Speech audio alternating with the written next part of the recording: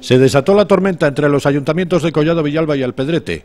Tras anunciar ayer el alcalde Agustín Juárez la compra a Alpedrete de su mitad correspondiente del Polideportivo de los Negrales, esta mañana Marisol Casado declaraba que de lo único que tenía constancia era de haber acordado con el regidor Villalbino la disolución de la mancomunidad.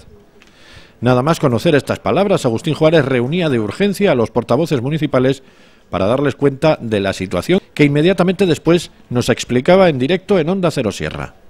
Bueno, pues simplemente eh, ratificar lo que expliqué ayer en el Pleno, que en una reunión que mantuve con la alcaldesa de Alpedrete, que había más gente, reitero que había más gente, que es importante, eh, se llegó a un acuerdo que fue el que, el que manifesté ayer en el Pleno.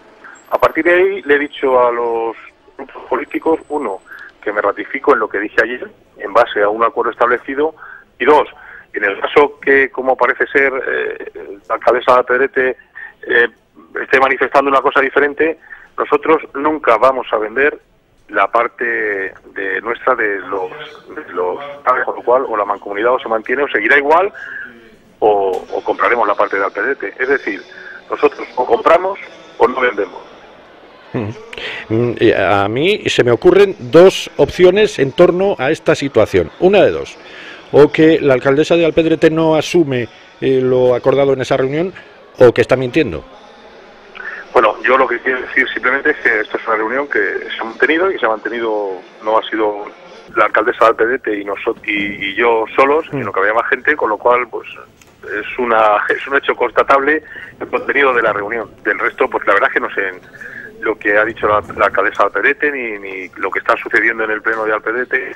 Lo que sí lo puedo decir que como los grupos políticos, y además me parece muy bien y creo que ahí estamos todos de acuerdo, me han, me han manifestado eh, su interés por saber esta situación, que mm, parece ser que no había nada cerrado ni concretado y les he dicho que sí, que había cerrado, que había concretado que había más gente y que nosotros o compramos la mitad del PDT o lo venderemos, porque nosotros, visto lo cual, pues eh, tenemos necesidad de tasas y seguimos teniendo interés en mantener aquella instalación allí.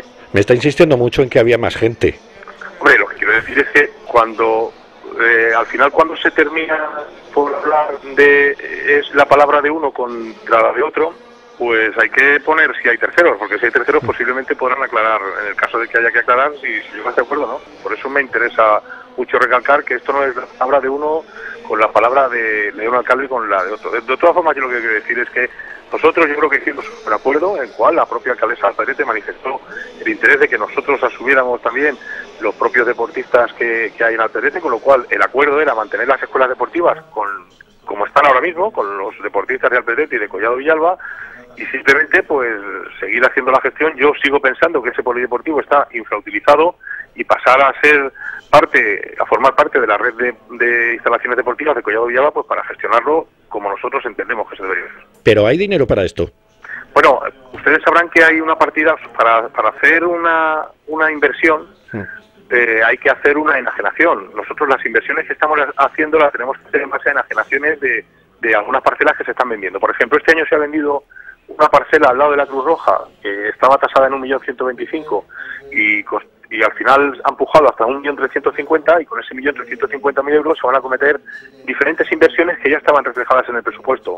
Acondicionamiento de la dehesa, eh, acondicionamiento de colegios, eh, de informática, etcétera, etcétera. Nosotros teníamos previsto ya la venta de una parcela que hay paralela, porque hay interés por esa parcela, y entonces la, la venta de la parcela estaba en torno al 1.800.000 euros y teníamos pensado pues dotar una parte de esa venta para una inversión y esa inversión era puesto que no tenemos dinero para hacer un polideportivo vamos a comprar medio que nos sale mucho más barato uno y bueno esa era la partida presupuestaria del resto de partidas no se puede sacar solo puede sacar una inversión solo tiene que hacer a través de una de una enajenación. Entendemos que era mucho más importante que nuestra inversión sea una, una inversión en un polideportivo que no en una parcela que no tiene ningún ningún uso a día de hoy.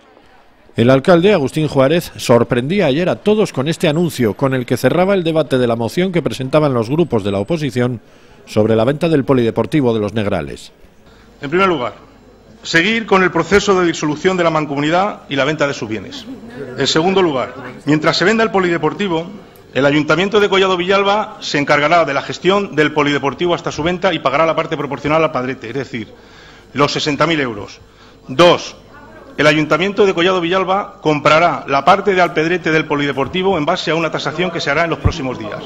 El Ayuntamiento de Collado Villalba comprará la parte del Ayuntamiento de Alpedrete en el Polideportivo de Los Negrales.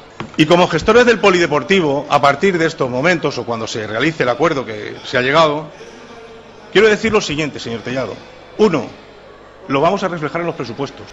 El pabellón de los Negrales pasará a formar parte de la red de instalaciones deportivas municipales de Collado Villalba para sucesión y uso a los diferentes clubes de la localidad, que podrán practicar en estas dependencias sus numerosas actividades, al igual que la Fundación Apascovi, en los programas de apoyo a las personas con discapacidad.